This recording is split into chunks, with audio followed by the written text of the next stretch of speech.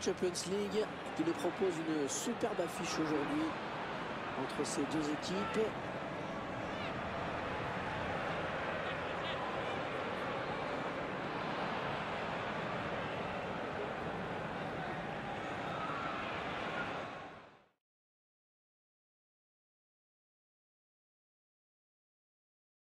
Salut à tous, c'est sous la pluie qu'on vous accueille aujourd'hui à, San Siro. Nous allons suivre euh, ce match avec Pierre Ménès. Match au piège, hein. la rencontre du jour est un huitième de finale aller. Inter de Milan affronte le FC Barcelone. Oui, ces deux équipes qui vont s'affronter dans ce huitième de finale aimeraient bien assommer leur adversaire dès ce match aller. Évidemment, ce sera un grand pas vers les quarts de finale.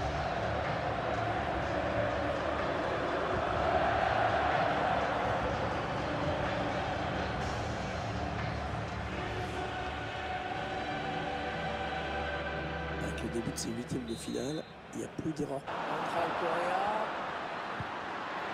Avec Eriksen. Un très bon ballon donné par Christian Eriksen. Et ça y est L'ouverture du score par cette équipe qui vraiment avait pris l'avantage depuis le début de la rencontre. Ah oui, c'est la plus entreprenante des deux. Elle cherche, elle tente et, et maintenant la voilà récompensée. Ces images pour vous montrer euh, ce qu'il faut vraiment appeler un but tout fond. Oui, parce que quand t'as pas un gardien dans le but, c'est quand même plus facile. Hein.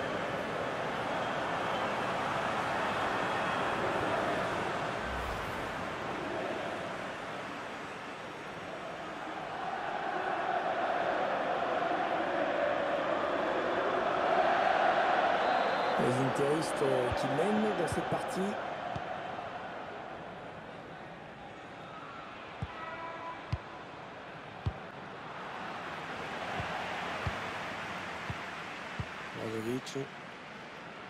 on utilise toute la largeur du terrain, c'est bien joué.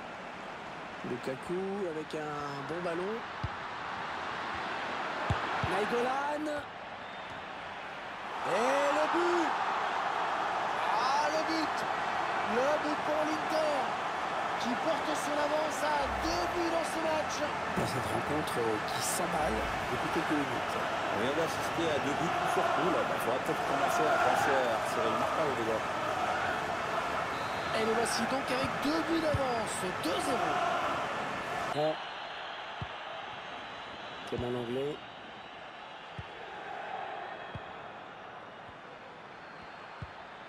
Ah oui, la bonne passe. Lautaro Martinez. Il cherche Messi. Oh, il attrape le poteau. Arthur. Arthur. Ils ont retrouvé euh, leur morale, hein. plus qu'un but pour euh, arracher le match nul.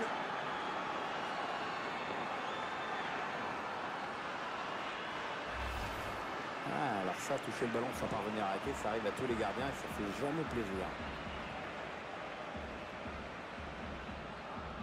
On va peut-être mieux voir ce qui s'est passé.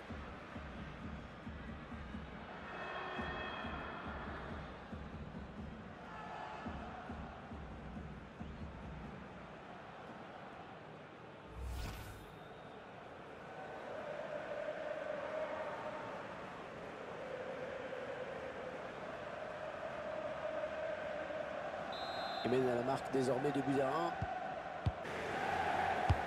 Il a cherché le point de pénalty sur ce corner.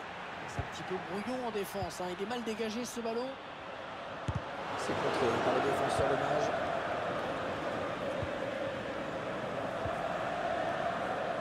Young. Ah, la passe en profondeur, attention. Paolo Dybala. Et elle est au fond. Qu'est-ce que fait que ce match sérieux Ils étaient menés de deux buts et maintenant ils sont à égalité.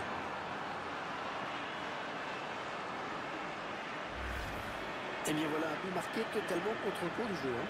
Oui, ils sont largement dominés en ce match, pratiquement dans tous les compartiments du jeu. Et ils n'ont jamais baissé les bras aussi. Hein.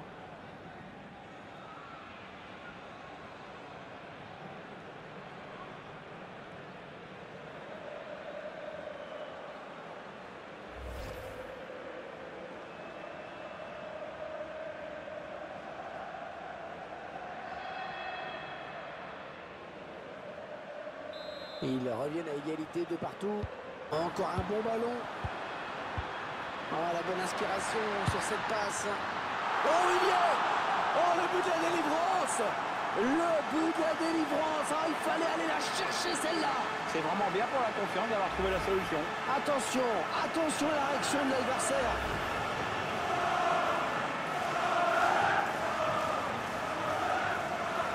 Un changement dans l'équipe du Barça. Ah, L'entraîneur qui préfère revoir ses plans pour la suite du match. FC Barcelone qui va une petite minute à jouer dans le temps réglementaire. Vlahovic. Eriksen. Oh, c'était dangereux ça, mais la défense est...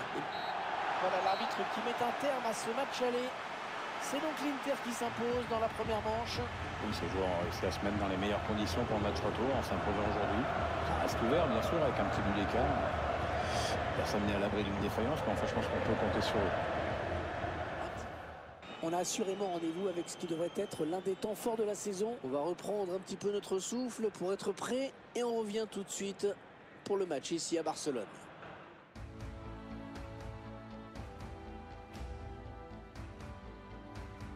Salut tout le monde, c'est dans des conditions quasi parfaites hein, qu'on se retrouve aujourd'hui.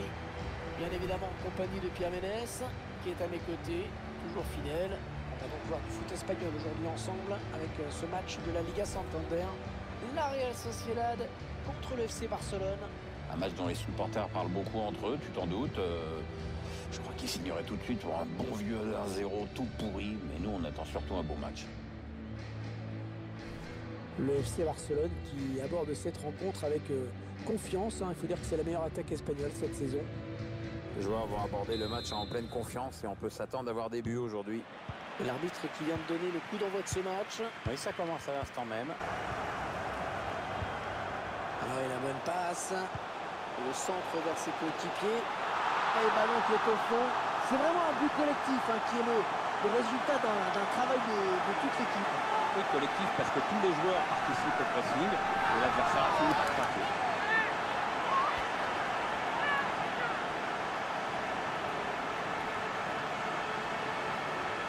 On voit que le gardien touche le ballon, il était pas loin de l'arrêter, mais il n'y est pas arrivé.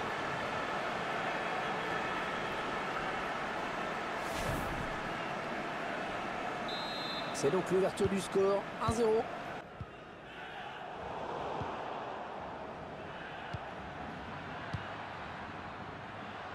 Oh, le gros exploit personnel, attention. Oh, le but Oh, le FC Barcelone qui égalise.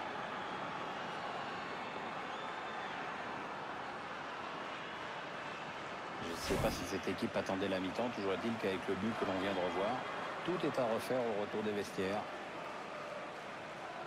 Le réalisateur qui nous remontre ce but.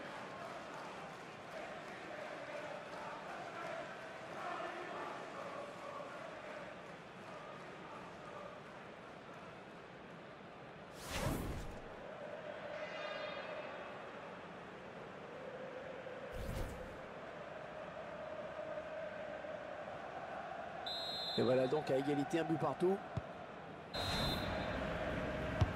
Allez, pleine surface, le corner de Griezmann. Bonne intervention du défenseur qui a écarté le danger. Antoine Griezmann. Et voilà un match qui va s'achever sur ce score de parité entre les deux équipes. Ouais, le match est resté indécis jusqu'au bout. On ne pas crier au scandale quand on voit le score.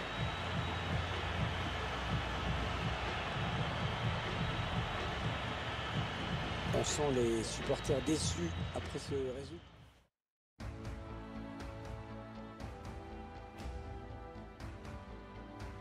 Bonjour à tous, nous avons rendez-vous aujourd'hui dans ce stade magnifique qui est l'antre du FC Barcelone.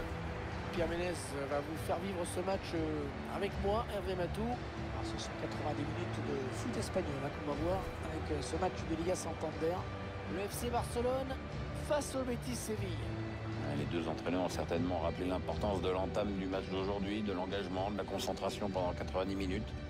L'enjeu, c'est évidemment les trois points, point barre. On va avoir un œil euh, particulièrement attentif à, à la performance de ces deux joueurs dans cette rencontre. Ouais, à mon avis, les, les- les deux joueurs risquent d'être euh, très sollicités aujourd'hui. hein. Et on va bien voir lequel des deux va remporter ce duel à distance.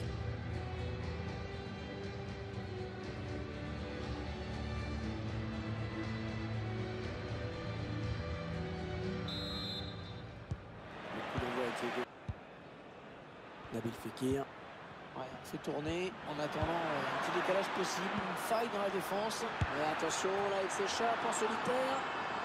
Et voilà, il est l'ouverture du score de cette rencontre. Et ça, c'est un but qui va tout changer. On attend forcément une réaction euh, du côté d'en face. Euh, il va falloir voir comment tout ça va être géré maintenant. On va être vite fixé, Pierre. Il la prend comme il vient. Il s'est posé aucune question magnifique. C'était parfait. Euh, même pas besoin de contrôler. Hein. Tiens, regardez, un un nouvel angle de vue pour apprécier ce but. Voilà, le score qui est donc ouvert 1-0. Peut-être l'un de ses derniers ballons parce qu'il a l'air blessé. L'arbitre a décompté deux minutes hein, de temps additionnel.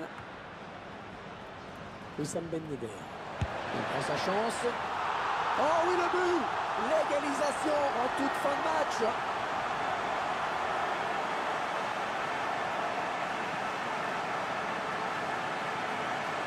Assez cruel pour l'adversaire hein, de, marquer comme ça dans les arrêts de jeu. Ils viennent d'arracher l'égalisation. Ah, Il se passe toujours beaucoup de choses à ces moments-là. On n'était pas au bout de nos surprises.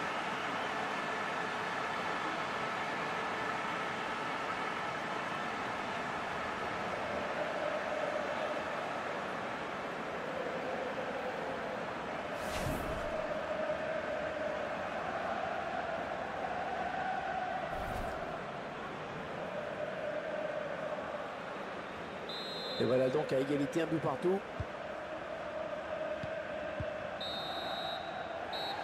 Et l'arbitre qui va renvoyer les deux équipes au vestiaire sur ce score de parité. Le match est resté euh, indécis jusqu'au bout. On va pas crier au scandale quand on voit le score.